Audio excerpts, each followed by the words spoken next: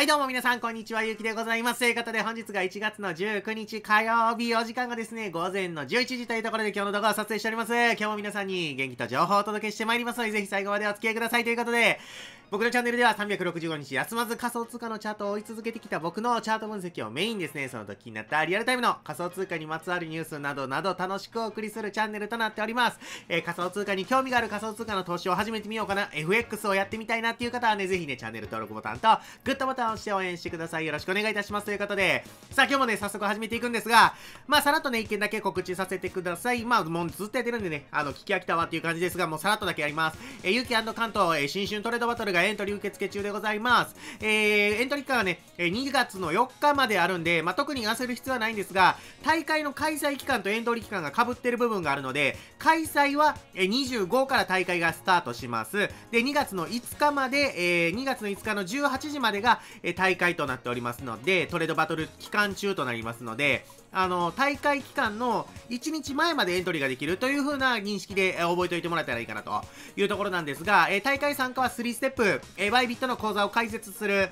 えー、その口座の中に0.01ビットコインを入庫する。で、えー、大会参加の、えー、ボタンを押すというね、参加ボタン、エントリーボタンを押すと。この3ステップになっておりまして、口座開設と、えー、大会の参加は動画の概要欄に、えー、URL、リンク貼り付けてますので、そちらから、えー、口座開設と、えー、大会参加をね、してもらえたらと思います。で、で今ね、ようやくね、参加人数が122名まで来ました。で、やっぱりね、最大150名なんで、あとね、30人、約30人、どうにか、えー、協力していただけたらと思います。やっぱりね、共同開催、僕とね、関東さんでやってるので、できたらこう、満員でしたよ、満員御礼っていう形で大会をね、スタートできたらすごく、えー、嬉しく思いますので、ぜひね、そちらの方、協力の方お願いいたします。ということでございます。はい。あとはね、昨日ちょっとね、動画の最後にね、告知ってなっちゃったんで、あの気づいてない方いらっしゃるかもしれないので、もう一個だけ、ごめんなさい、忘れた告知させてください。えー、本日ですね、ともみんの、えー、バースデーですね、僕のファンクラブ会長、えー、ともみんのバースデー、ハッピーバースデー記念ライブ配信というのを行います。で、ちょっと一件だけね、あのー、申し訳ない、えー、謝罪というか、えー、変更点がありまして、僕21時って言ってたんですけど、ちょっとね、どうしても外せない予定が入ってしまったので、30分だけ遅らせていただきたい。ちょっとリスケしてください。あの、リスケジュール。えー、僕、リスケっていうのがなんかかっこよくて言いたくなる。えー、リスケしていただきたいんですけど、21時30分、ちょっと中途半端になっちゃうけど、そこだけちょっとご理解いただけたらと思います。本日の1月の19日、21時30分から、えー、ライブ配信をスタートします。ここだけちょっとリスケ、えー、ポイントになりますので、ちょっとね、こちらは、え、ご理解ご了承の方いただいて、皆さんね、ご、ご予定の方をちょっと開けといてもらえたら、もしくは、9時から開けてた方は、ちょっと30分待ってて、えー、いただけたらというふうに思います。はい、必ず9時半には間に合うようにね、えー、スケジュール組んでおりますので、えー、そちらだけ、えー、ご理解ご了承の方よろしくお願いいたします。ぜひね、あの、皆さんと楽しくワイワイね、ともみんのお祝い、えー、プラスね、えー、みんなと仮想通貨のトークであり、えー、日常会話であり、もう何かね、人生相談であり、何かこう楽しく皆さんとね、えー、話しながら、えー、ライブでね、会話できたらなと思いますので、リアルタイムでね、えー、していきたいなと思っておりますので、ぜひね、楽しみに、えー、遊びに来ていただけたらなというふうに思います。ますはい。というわけでね、早速、えー、本題の方に入っていくんですけれども、えー、今日は特に気になるニュースなかったので、そのままチャート分析だけしていこうかなと思うんですが、まあ、いつも通りね、えー、仮想通貨のね、時価総額、時価総額ランキング、えー、から見ていこうかなと思います。えっ、ー、とですね、今、実はね、あの、IOST、まあ、確かに、えー、注目されてるんですが、もう一個ね、注目されてる仮想通貨がございまして、まあもう当たり前のように皆さん知ってると思うんですが、イーサリアムよ。イーサちゃんが結構今注目株2位の一つに上がってきてます。なんやったら、まあこれね、強気な相場の時ってで、だいたい超ド級強気な発言で出てくんねんけど、えー、イーサリアムは、えー、こっから先ね、あの、ビットコインを、えー、の時価総額を超えて、えー、トップに君臨する仮想通貨であるみたいなことを、えー、取り上げてたりとかもするので、まあちょっとに、えー、注目されている、えー、ビットコインじゃないわ、仮想通貨の一つかなと、アルトコインの一つかなと思います。まあアルトの中でも筆頭やから、まあ知らん人はいないぐらいの感じだと思うんですが、今現状のね、あの、チャートを見てもらったらわかるように、えー、間もなくまたオールタイムハイ、ATH ですね、アーテーハーまで行く可能性があるというところですね。えー、一応ね、1万4000、えー、超えてきたら多分、あの、ATH、オールタイムハイになってくると思うんですけれども、えー、そのあたりがね、まあ、かなり今、注目されている、えー、ポイントになってくるかなという感じですね。あ、オールタイムハイではない。ごめんなさい。オールタイムハイじゃないわ。あの、直近高値を超えてくるような形になるかなっていうところですね。もうちょいあれで、ヒゲで伸びてるからね。あの、そのあたりはもうちょっと先になりますが、間もなく、けどオールタイムハイまで、えー、目指せるような価格帯には上がってきてます。なんやったらビットコインよりも、チャート強いよねっていうところ。えー、これ月足なんですけど、月足で見ても、もうどんどん、えー、実体部分が大きくなってきてるような形、まあ、俗に言う、まあ、バブル相場的な感じのチャートには見えますので、もう一本ドカーンと出てくると、同じようなサイズ感の月足出てきたら、余裕でね、オールタイムハイまで届くんじゃねえか、みたいなところでもありますので、まあ、ただやっぱり1万5000、1万5000円っていうところで利確しようかなって思ってる方は多分多いと思うので、まあ、この辺りはちょっと注意ポイントになってくるかなと思うんですけど、まあ、それでももし1万5000、えー、もしね、あの、ポンって突き抜けることがあれば、オーバーシュートしてもそのままオールタイムハイまで行っちゃうみたいな、まあ、動きももあるんじゃないかなというふうにも見ておりますので、まあ、この辺りはちょっとイーサリアムは期待しておくべきポイントになるかなと思います。はい。なので、イーサリアムがかなりま強いし、注目されているというところはちょっと頭の中に入れといてもらえてもいいんじゃないかなっていう感じですね。はい。で、ドットがちょっと下がってね、えー、まあ、マイナス9%ぐらいなんですが、それでもまだ一応3位は死守というところですね。で、体のがね、えー、同じく、えー、ドットとね、ちょっと相関しているような動きをしてるんですけど、ちょっと下がって、で、え、リップルが30円台に戻ってきてるので、もしかするとまたこの辺りで順位がコロコロコロっとね、入れ替わる可能性がありますよ、というところでございますね。で、やっぱりね、皆さんが一番多分ね、今気になってるであろう、あまあ、IOST、またちょっとちらっとだけ見とこうかなと。今ちょっと下がってきてますね。えー、12%ぐらいのマイナスになってきておりますよというところです。で、で、えー、一回ね、4時間足見ときましょう。ちょっとね、えー、言ってた短期戦でね、持ちこたえたように見えたんですけど、短期戦抜けてきたんですよ。ここで行くと、15円割ってくる可能性があるんですよね。こっから入ってくると。なってことはよ、逆に言うと、15円付近でサポートされる可能性結構あるので、4時間足の75日線なので、まあ、この辺りでいくと、MA の75あたりのサポートを期待して、14、5円ぐらいで買っていくっていうのは、ありよりはべり今そがりかなという感じは思いますので、まあ、この辺りはちょっとね、あの、意識して見といてもいいかなというポイントですね。はい。なので、まあ、冷やしていくとね、もっと下がるんですよ。冷やしの、例えば25日線まで、えー、この帰りを埋めに来る動きがあるのであれば、ニュー、えー、ニュー、ニューニューってどこから10って言おうと思って。そう。10円付近。入円付近って何？10円付近ぐらいまで下がってくる可能性があるので、まあ、この辺りはちょっとね、えー、注目していていてもいいのかなと。なので、14円ぐらいまで下がってきてくれたら、まあ、1円下がるごとに買い増ししていくみたいな、えー、手法もね、取れるかなと思いますので、まあ、この辺りはね、あの、一つ注目ポイントの一つとして、まあ、覚えておいてもらって、えー、注目プライスかな？の、えポイントとして覚えておいてもらえると、皆さんのね、投資にお役立ていただけるんじゃないかなと思います。はい。というわけで、えー、ちょっと寄り道しましたが、ビットコインのね、チャートを分析していこうかなというところでございます。えー、僕ね、短期目線ではしたと言ったんですが、まあ、結局ですね、この、えー、まあ、ちょっと後でね、1時間足見ていくんですが、この1時間足で引いた下降、えー、下降トレンドのトレンドラインですね、を、ブレイクアップ、Wake me up! 朝の太陽ということでね、あの、ブレイクアップしていたわけですよ。それでまあ価格がぐぐぐっと上がってきて、まあまもなくこの冷やし、今冷やし出してるんですけど、冷やしレベルの三角持ち合いの上限の線付近までたどり着くよというところですね。はい。で、一つね、ちょっとね、視点をもう一個増やしておかないといけないなと思ったのが、僕ね、この、えー、三角持ち合い、えー、冷やしレベルの三角持ち合いは、えー、影の線、上下の線ともにヒゲで引いてました。ヒゲの上、下で引いてたんですけど、えこれね、加減の線が、これもしかしたらね、ここの実体、このラインで引けんじゃねえ仮説っていうのが僕の中でちょっとちらっとふわっと出てきたんですよね。ただここのラインを引くと、あの1時間足とか4時間足に落とし込んだ時にほぼ効いてないので、まあ、そこまで、まあ、大きな、えー、なんていうんですか、短期的な目線、えー、強い指標にはなれへんかなと思うんですけど、冷やしレベルで見たときに、ここで買い支えされてる、ここまで実態が戻ってくるっていうのが、まあ、要は3回行われてるわけですね。って考えると、まあ、ここのラインっていうのは、冷やしレベルで見ておいてもいいラインになるのかなというところですね。なので、実態で引いてみても、うん、いいのかなと。多少ちょっと要は三角持ち合いがちっちゃくなるので、えー、実体レベルで引くとね。ぐっと収まるんですよね。人、えー、一回りぐらい、えー、ちっちゃな三角持ち合いになるんですけど、このもう一個の三角持ち合いは一回りちっちゃい三角持ち合い、小三角持ち合いをこれ上に抜けていったら、そのままね、えー、大三角持ち合いの、えー、上限の線も超えてくる形になるので、そうなった場合は、結局ね、これまだね、実はあの、なんていうんですか、安値の切り上げが起こってるんで、下降トレンドにはなってないわけですよ。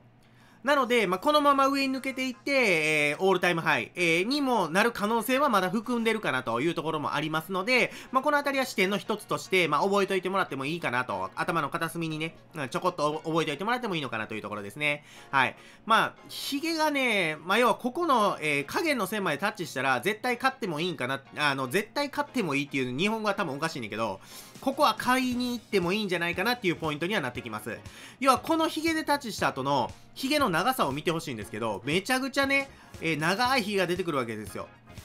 ここね、ここもそう、ここもそうなんですけど、なので、この辺りまでもし落ちてくることがあれば、この辺りで買っていくっていうのは、僕はありかなと思います。ロングのポジションを取っていく。で、ヒゲでグッと伸びてくると思うので、まあ、その辺りで理覚するもよし、えー、持ち越して上限の線まで持っていくもよし、そのまま上抜く抜けてくる可能性もあるので、あるので、例えば上限の線で半分理覚、そのまま持ち越して、で、えー、前回の最高値まで来たら、えー、もう半分理覚みたいなね、えそういうシナリオも、まあ、ありよりハベリーマソカリかなという感じもございますので、まあ、この辺りは、もしね、あの、よろしければ参参考にしていただけたらなというふうに思います。というわけで、ちょっとね、えー、先ほども言いましたが、1時間足ちょっと見ていこうかなと思うんですが、その前にちょっとね、この黄緑の線は、邪魔というか、えー、見にくくなってしまうので、一度消しておきましての1時間足見ていきましょう。で、今現状がですね、これね、ちょっとね、ドル建てやともっと綺麗にはまってるんですけど、えー、上昇チャンネルを、えー、作ってるような形に見えます。うん、なので、まあ、影の線も綺麗に決まってるし、えー、まあ、上昇トレンドであると言っても過言ではないかなと短期目線でね、えー、要は転換したような形に見えてます。えー、安値の切り上げが起こってますよ。で、高値の切り上げも起こってますよっていうところね。なので、今回のこの上昇で、えー、今ね、ちょっと前回のちょうど高値付近で揉み合ってるんですけど、ここ抜けてくるようなことがあれば、上昇トレンドが継続と。なおかつ、えー、チャンネルの上限の線に触れに来るような形になるので、まあ、大体400万付近まで上がってくる可能性があるかなと。そうすると、ちょうどね、チャンネルの上限プラス、えー、さっきの冷やしレベルの三角持ち合いの上限の線にも触れてきますので、この辺りは一度注目ポイントになってくるかなと。利確もしくは、えー、損切りとかのね、注目ポイントになってくるかなと思います。なので、ここを抜けてくるようであれば、勢いよく上がってくる可能性があるので、そのままオールタイムハイみたいなね、えー、形もありえますし、うん。ただ、ここはね、あの、やっぱり、こう、上下の線抜けた時って、ポーンって抜けたように見せかけて、えー、一気にヒゲで実体がその三角持ち合いの中に押し込められて、えー、ズドンと下がるっていうね、要は騙しの動きみたいなことも結構起こり得ますので、まあ、この辺りは、まあ、飛び乗ってもいいねんけどな。うん、飛び乗っても、その、三角持ち合いの線の中に戻ってきたら損切りぐらいの、まあ、形で思っておくんやったらいいかなというぐらいの、えー、なんていうんですかね、トレード方法になってくるかなと思います。はい。なので、まあ、この辺りの400万付近、特に400万、さっきも言ったけど、リーサリアムの1万5000とかね、400万とかね、まあ、円建てでそこまでめっちゃ意識されるかって言われると、ちょっとまあ、ふわっとしてるところはあんねんけど、まあ一応400万円付近っていうのは、やっぱり切り板として、あの、利確しておこうって思ってる方も多くいらっしゃると思いますので、まあこのあたりの価格帯、で、なおかつ指標も重なってきてます。えー、チャンネルの上限、三角持ち合いの上限。だからこのあたりの売り圧っていうのは、まあ確実に入ってくるかなと思いますので、まあここはやっぱりね、あの、再度注目ポイントになってくるかなというところですね。はい。よいしょ。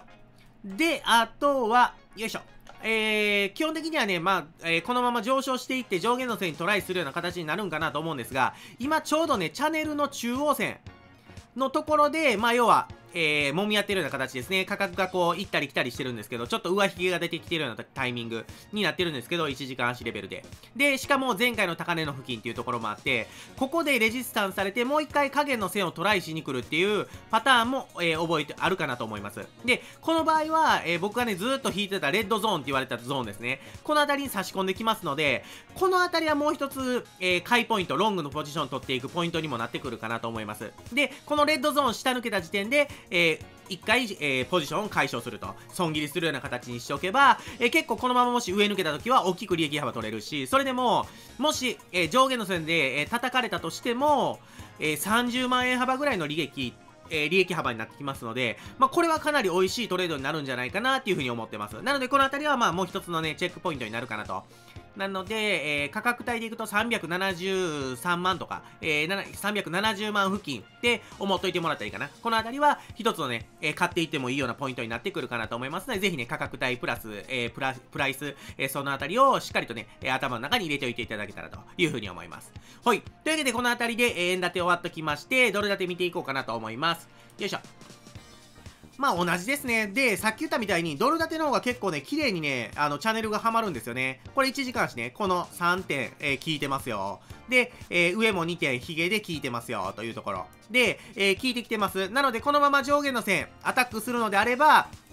ここもほぼほぼ、えー、円建てと同じですね。えー、上限の線プラス、チャンネルの上限の線ね、プラス、えー、三角持ち合い、えー、冷やしレベルの三角持ち合いの上限の線。これが2つ、え、ダブルでね、レジスタンスラインとなりますので、まあ、このあたりは、え、落とされるようなポイントっていうのにもなってきます。なので、一旦利確をするかどうかの検討するポイントね、え、チェックポイントとしてなるかなと、え、な、思いますので、このあたりはね、ぜひ覚えておいてください。価格帯でいくと、昨日もちょっとね、ちらっと言った価格帯ではありますけども、38,500ぐらい、3万8500ドル付近が、まあ、ちょっとね、利確するか否かのチェックポイントになってくるかなと思いますので、ここね、ここの価格帯は、えしっかりと押さえておいていただけたらと思います。はい。で、これもほぼ冷やしと、え冷やしじゃない、え円立てと一緒なんですけど、えチャンネルの中央線に今ちょうどね、阻まれているような形に見えますので、このままもう一回影の線を試しに来る可能性があります。で、そうなってくると、1時間足のちょうどね、雲の切れ間も、え合わせてね、狙っていくような形になるんですけど、これ結構多いパターンで、で雲狙いに行くねんけど、実は雲は抜けずに、雲の切れ間抜けていかずに、えー、そっから反発して上に上がってくるっていうパターン。これも結構よく見られるパターンですね。なので、えー、まあ、チャンネルの加減で買っていくっていうね、先ほどの円建てでも言った、えー、シナリオっていうのは、全然ね、あの、使っていけるんじゃないかなと思いますので、このあたりもちょっと覚えておいてもらってもいいのかなという風な感じですね。なので、そうなってきた場合、もし買っていけるポイントとしては、3万6000ぐらい。3万6000ドル付近まで落ちてきてくれたら、えー、全然、えー、ポジション取っていってもいいのかなっていうポイントになってきますので、まあ、このあたりはぜひね、えー、チェックポイントの一つとして覚えておいてもらえたらなと思います。はい。ただ、まあ、一応ね、この上昇のチャンネルが出てきてるんですけど、これがね、この、この下落に対する、フラッグとして出てきてるのであれば、このままストーンと抜けてもう一段階下がってくるっていう可能性もあるので、まあ、このあたりはちょっと注意が必要でございます。なので、さっきも言った通り、加減の、えー、チャンネルの加減ね。で、買っていってもいいねんけど、チャンネルの加減抜けで、損切りは確実にしておいてください。大きく下がってくる可能性がありますので。ただ、えー、上昇チャンネルが出てる分、そのフラッグにも見えるんですけど、フラッグって結構ね、あの、否定して上がっていくパターンっていうのも結構あったりするので、まあ、このあたりはどっちにも取れるような形で構えておくと、トレード柔軟にね、していくポイントになってくるかなと思いますので、まあ、ぜひね、このあたりはしっかりと頭の中に入れて、トレードのね、シナリオに組み込んでみてはいかがでしょうかという感じでございます。はい。ただね、あの、別に買いを煽ってるわけでも何でもなくて、あの、僕の中のシナリオを皆さんにお伝えしておりますので、投資は自己責任でというところは忘れないようにしておいてください。はい。というわけでね、まあ、このあたりが今僕の視点でございます。あの、冷やしのレベル、冷やしレベルの三角持ち合いとかの視点は、ほぼほぼまあ同じなので、あの、え、ドル建てにトレースしてもらったらと思います。で、短期的な、えー、狙っていくポイントみたいなところは、価格帯ね、しっかりと、えー、提示して、まあ、お伝えしておりますので、そのあたりをね、えー、一つの参考に、えしてもらえたらなというふうに思っておりますよ、という感じでございます。はい。というわけでね、今日は以上で終わっておきたいと思います。えー、冒頭にも言いましたけれども、ゆうき関東のね、えー、トレーニングバトル、えー、トレードバトル、えー、新春トレードバトルですね、が、えー、エントリー受付中、受付中でございます。で、なおかつね、えー、間もなく100、えー、150人、あと30人ほどの方がね、参加していただけたら、マックス値まで、えー、到達することができます。せっかくね、ようやくこう、ダブルネームでね、あの、トレードバトルっていうのを開催することができておりますので、ぜひね、150人マックス集めて満員御礼やったぜって言ってね、スタートしたいと思いますので、ぜひね、あの、トレードバトル参加しようかなと思ってる方とか、あとはね、まあ、トレードはせえへんけど、0.01ビットコイン入庫してるから、一旦ね、あの、名前だけでもエントリーだけでもしといたろかいな、みたいな形の方も、ぜひね、エントリーだけしていただけるとすごく嬉しいですので、えー、協力の方よろしくお願いいたします。はい。あとはね、えー、こちらも冒頭に言いましたが、えー、本日ですね、えライブ配信を行いますとも、ともみんのね、え、ハッピーバースデーライブということで、え、やっていきますので、ただちょっとね、リスケジュール、え、時間が21時から21時半に変更になりましたよというところだけ、ちょっとね、ご理解ご了承の方よろしくお願いいたしますという方で、さあ今日はね、以上で終わっておきたいと思います。ではね、この後のライブ配信、え、21時30分からのライブ配信もしくは明日の動画でお会いいたしましょう。バイバイ本日も最後まで動画をご覧いただき本当にありがとうございました。チャンネル登録はこちら。おすすめ動画はこちら。リアルタイムトレードの情報は Twitter のフォロー。質問や応援メッセージはオフィシャル LINE の友達追加もぜひよろしくお願いいたします。詳しくは動画の概要欄をご覧ください。それではまた次の動画でお会いいたしましょう。バイバイ